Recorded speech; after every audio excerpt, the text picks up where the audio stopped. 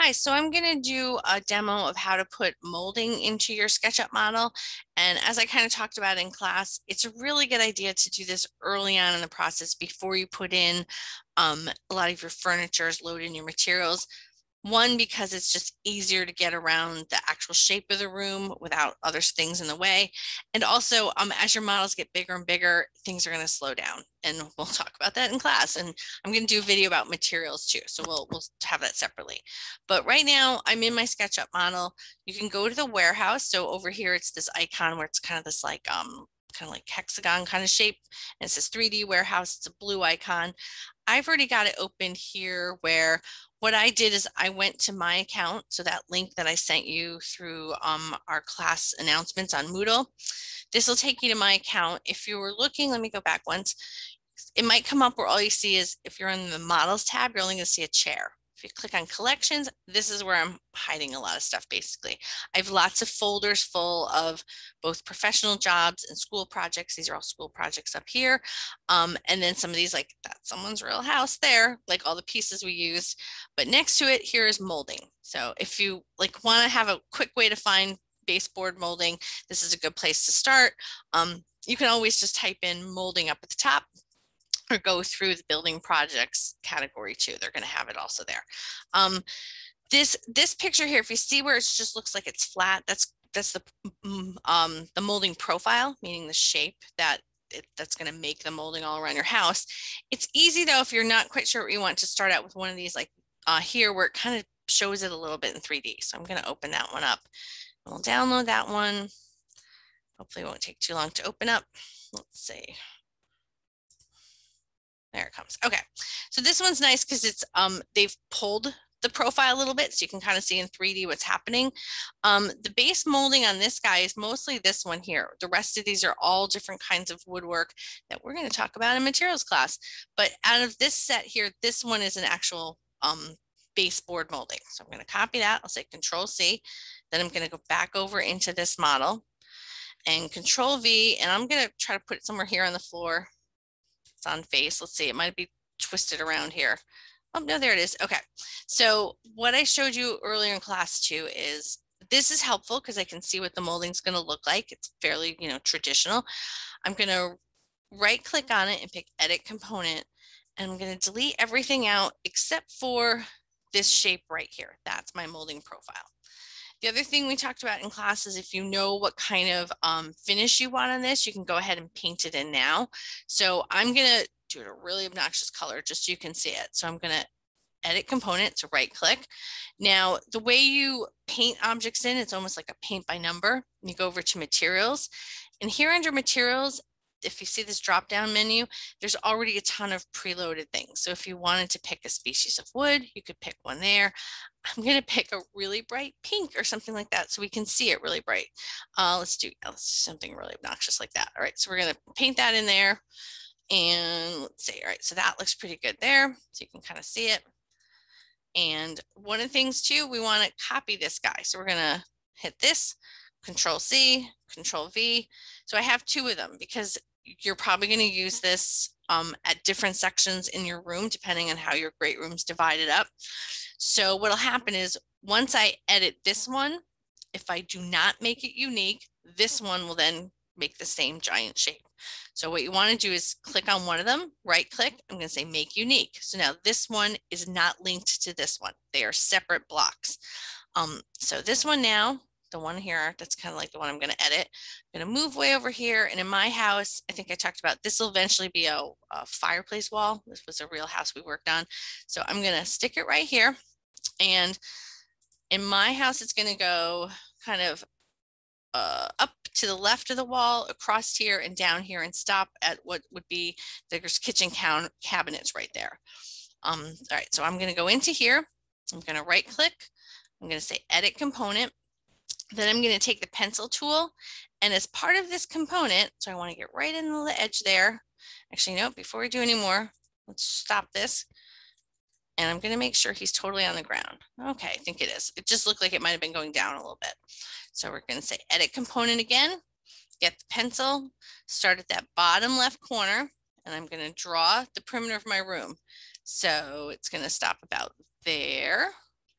And then it's going to go across the back wall here. And then it's going to go over to about right there. And I'll say escape. So now this component, if I kind of click off over here into space, if I click on this guy down here again, you'll see that those lines are now part of the component, which is what we want. So we're going to right click, say edit component. Now what we want to use is what's called the follow me tool. So I'm going to ask this shape to follow that path I just drew and see how it just lit up red. That's a great sign. It means it can read that. You also want to see how I'm pivoting in and out. You want to pivot out far enough that you can see the whole of your shape, which is a little tricky. And if you have a weird shape room, let me know. So right now using the follow me tool, see how it's going along the left wall, now the back wall, and then we're going to see if we can get it to come around the corner. And yep, it did. So let's see here.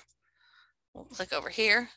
Now the interesting thing is it didn't go all pink on me. So let me see, let me try that again. So I think what's the problem there is I have to probably paint pink on the other side. Just want to make sure we get this right so that when you're coloring it in, yeah, so the white side is what it was pulling. So let's make sure to paint both sides. So super obnoxious pink there. Um, sorry if you like pink, I don't, I don't hate it. I just try to make it super bright. All right, so we're gonna have follow me, pick the shape again, and then follow the path that I made. And it's gonna go all the way around. Oh yeah, now it's real pink. All right, and there, there's my molding. And the nice thing is, see this piece is now unique in its own separate thing. So if I wanna do this inner wall here, what I probably do with this guy is, let's see, here's the edge of it. It's gonna start here and wrap itself around this wall. So there's there's another one over here. There's a wood one. I'm going to also, we're going to control C, control V, put another little extra one over here if I need it somewhere else in the room later. Right, uh, left click on that, right click, then say make unique. And now this one to edit component, I'm going to trace from this corner here, I'm going to go up to the wall here, over here, down and around here. This is a very retro house, the, the way this was laid out, this poor kitchen. All right, we didn't have a lot of options here. All right, and then now we're gonna, let's see, do the follow me tool. And we're getting this part here and we're bringing it, oops. Oh, you know what? We forgot to paint the other side of this one too. So let me do that quick so we can really see the pink there. Um, there it goes here. All right, I think I'm gonna have it follow from this angle just so I can see it a little better. So I'm gonna hit follow me there going around the square, going that way. And once it lights up red like that, it's showing you that everything's working and it understands the geometry. And there we go. And then at some point I'm going to, you know, need to build this wall and pull this wall up, but this wall is already set with its molding. The nice thing is if you look closely how this wraps around, it does a really nice job of creating this molding um, in the way they actually cut it in the real world, the way a, a skilled carpenter is gonna let's do these uh, 45 degree angles, which are called mitered corners. So again, like SketchUp is smart enough to get the geometry of how to wrap your, your molding around. Um, I don't think any of you have a house that's so traditional where you'd have crown molding, but crown molding is what uh, goes on the, the wall and connects to the ceiling. So you do really the very same technique of kind of following the path all along here. All right, and then when you're done, usually what I do is I, I still kind of keep this guy handy somewhere. And a lot of times in my drawings, I'll, I'll kind of have like a setup of a whole bunch of things over the right that are kind of like if I need to cut and paste later from. But this is how you get really fancy molding all over your house. Um, let me just show you really quickly if you're just doing a rectangle. So let me kind of, I'm going to delete this guy here. Oops, that was my whole wall. We don't want that. All right, there it is. So we're going to hit delete. Um, I would draw it somewhere over here. So if you're doing kind of a more modern house where your baseboard is really just like basically a plank of wood, I would get right on the red line here if you can. You're sort of, well, let's see. We're going to draw a square um, going vertically, basically, or a rectangle going vertically. They're usually about one inches. So see how I'm on the green axis, meaning I'm I'm totally like horizontal right now. So I'm going to type in one inch and it's really small. And now the blue axis is going up vertically. So I'll say four inches and then I'll go over one inch again on the green axis and then I'll go down and there's my little rectangle. Now in this case, why don't we'll paint it in with wood. So I'll kind of pick this like wood veneer here. Oh, that's bird's eye. That's a little too, that's really expensive. All right, so we're gonna put there, that'll be my wood. Um, I'm gonna make this a component again. So I'm gonna say make a component and I'll just say uh, base molding plain. All right. And now this one we're gonna bring over and actually again, we're gonna copy it just in case we're gonna need it in other parts of our house. So this one we're also going to make unique. So we're going to click on it, the little arrow there. So click, right click, say make unique. Now I'm going to pull it over to, again, this part of the house. And this one's same concept. So I'll just do it real quick as kind of I narrate it. So I'm going to right click and say edit component. I'm going to trace my path again.